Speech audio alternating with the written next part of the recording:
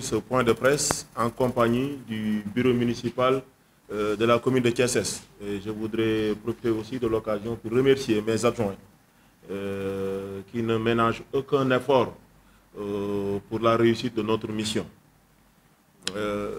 L'objectif de cette rencontre est d'atteindre trois objectifs. La première, c'est d'informer les populations de la commune de Thiès-Est, les populations de Thiès en général, par rapport à cette affaire de Balabé.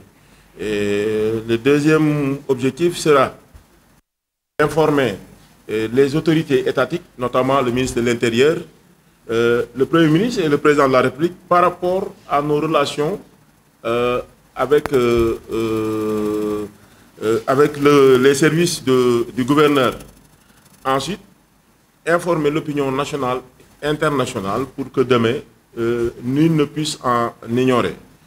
Mais tout d'abord, je voudrais me réjouir, et le bureau municipal de la commune de TSS, l'ensemble des conseils, les populations de TSS avec nous, euh, de la délivrance des attestations aux populations de Balabé qui sont nos administrés.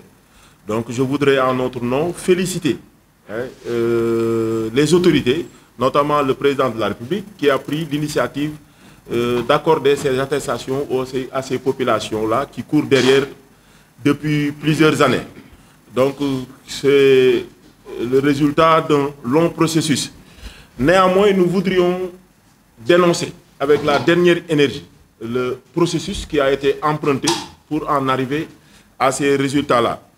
Parce que je crois que depuis plusieurs mois, il y a des commissions qui ont été mises sur pied sous la supervision du gouverneur euh, pour travailler sur le dossier de Balabé.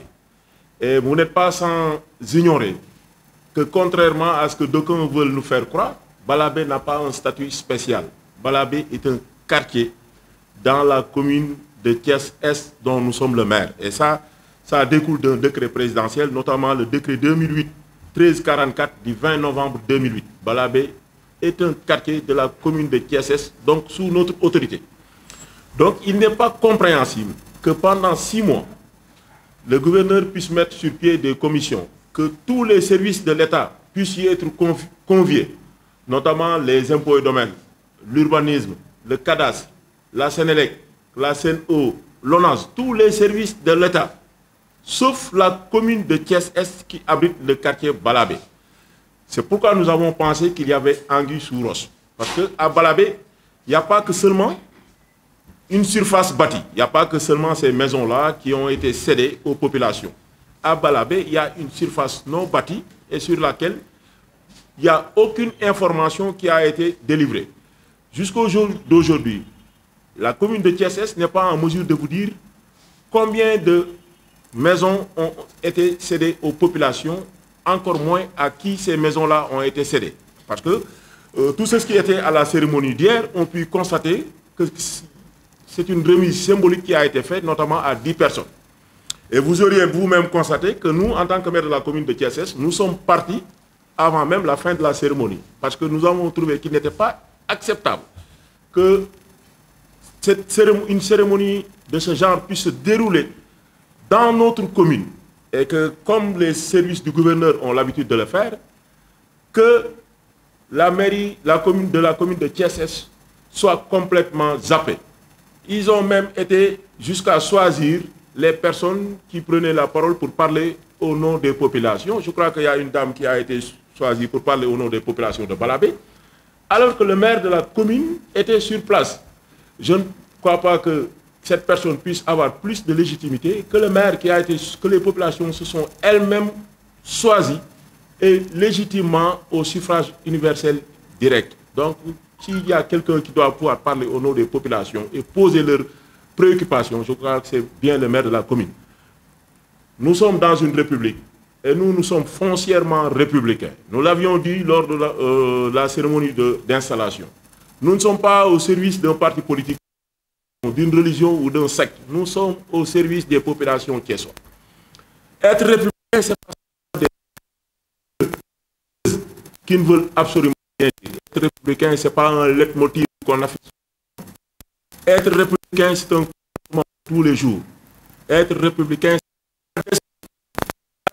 c'est c'est des règles de bienséance. La République, c'est des règles de courtoisie. La République, c'est un protocole républicain. Donc nous ne pouvons pas comprendre qu'à chaque fois qu'il y a une cérémonie républicaine dans notre commune, que les services du gouverneur cherchent à ignorer royalement la commune de TSS, notamment son maire. Même s'ils ne nous respectent pas, mais qu'ils respectent au moins les populations qui ont porté leur confiance en nous et qui nous ont donné cette légitimité-là de pouvoir parler en, leur nom, en tout lieu et en toutes circonstances. C'est pourquoi nous dénonçons avec la dernière énergie l'attitude du gouverneur et de ses services et nous interpellons le ministre de l'Intérieur, nous interpellons le président de la République, nous interpellons son Premier ministre. Parce que dorénavant, nous n'accepterons plus un tel comportement. Euh, les services du gouverneur et le gouverneur n'en sont pas... Si vous vous souvenez bien, lors de la dernière lors du Conseil des ministres décentralisé, des cérémonies solennelles républicaines ont eu lieu dans notre commune. Je ne dis même pas nous donner la parole, mais nous n'avions même pas été informés ni conviés. Cela n'est pas républicain. La République ne se limite pas à des paroles. La, République, c'est des règles. Et comme je l'ai rappelé, des règles de bienséance, des règles de courtoisie.